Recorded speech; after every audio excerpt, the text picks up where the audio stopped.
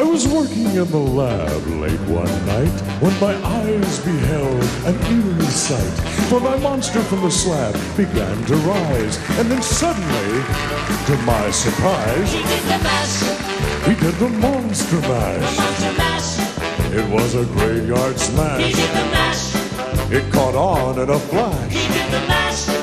He did the monster mash from my laboratory in the castle east to the last bedroom where the vampires feast. The ghouls all came from their humble abodes to get a jolt from my They electrodes. did the mash, They did the monster the mash. monster mash. It was a graveyard smash. They did the mash, It caught on in a flash. they did the mash.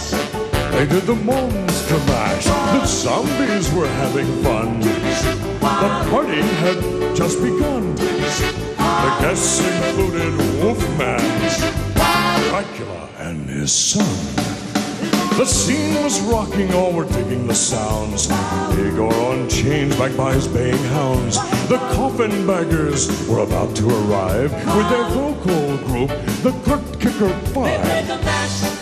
Mash, They played the Monster Mash. the monster mash. It was a graveyard smash. They played the mash, It caught on in a flash. they played the mash. They played the Monster Mash. Out from his coffin, Drax's voice did ring. It seems he was troubled by just one thing. He opened the lid and shook his fist and said, Whatever happened to my Transylvania twin? It's now the mash, It's now the Monster the monster mash. And it's a graveyard smash.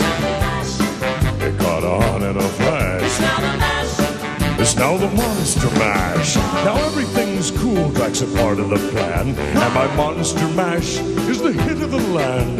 For you, the living, the smash was meant to. When you get to my door, tell them Charles sent you. You can mash, And you can Monster Mash the monster mash. and do my graveyard smash.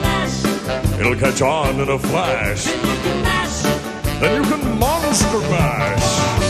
Mm, mash. There you go, you impetuous young boy.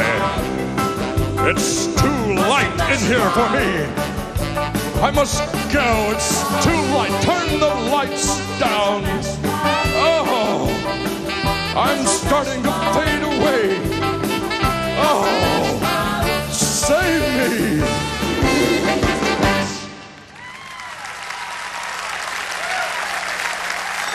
We'll be right back with more Music City tonight.